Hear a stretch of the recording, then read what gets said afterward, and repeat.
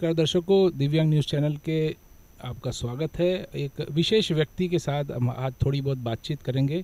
मान सिंह जी पटेल, जो महुआ के वतनी हैं, एमएलए रह चुके हैं, एमपी रह चुके हैं, गुजरात के डिप्टी स्पीकर रह चुके हैं और सहकारी क्षेत्र में बहुत उमदा काम करके ये आज हमारे समक्ष बैठे हैं।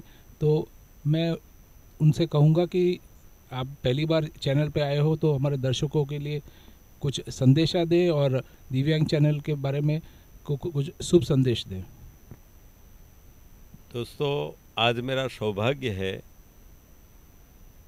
कि मेरी मुलाकात यहाँ दिव्यांग जो चैनल है, नई शुरू हुई है, वहाँ इस चैनल के साथ बात करने का मौका मिला।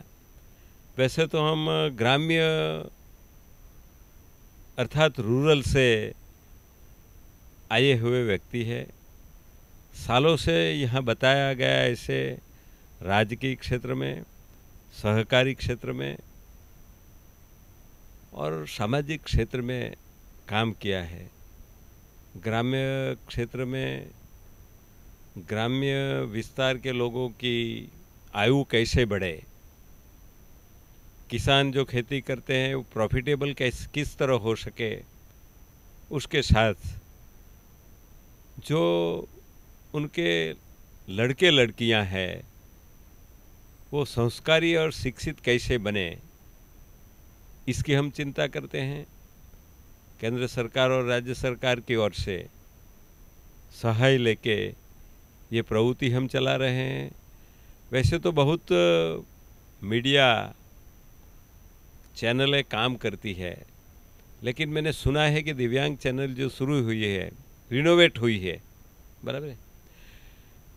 तो वो चैनल शहर से लेकर गाँव तक जाए और गाँव में जो एक्टिविटीज़ प्रवृत्तियाँ चल रही है, वो प्रवृत्तियाँ, वहाँ एन काम करते हैं, वहाँ प्राथमिक गाँव में सोसाइटियाँ काम करती है।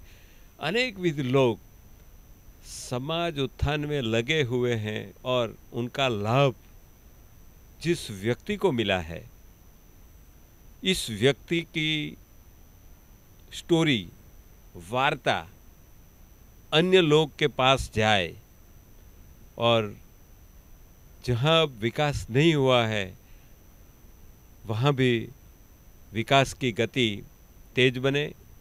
दिव्यांग चैनल है, उसको मेरी और मेरे सभी साथियों की ओर से मैं उनको धन्यवाद देता हूँ। चैनल समाज और देश की आरसी बने। समाज की जो सच बात है, करने लायक जो बात है, वो ज़रूरतमंद के पास वो बात पहुँचे। इस ढंग से चैनल काम करेगी, ऐसी अपेक्षा के साथ दोबारा मैं दिव्यांग चैनल के संचालकों को धन्यवाद देता हूँ।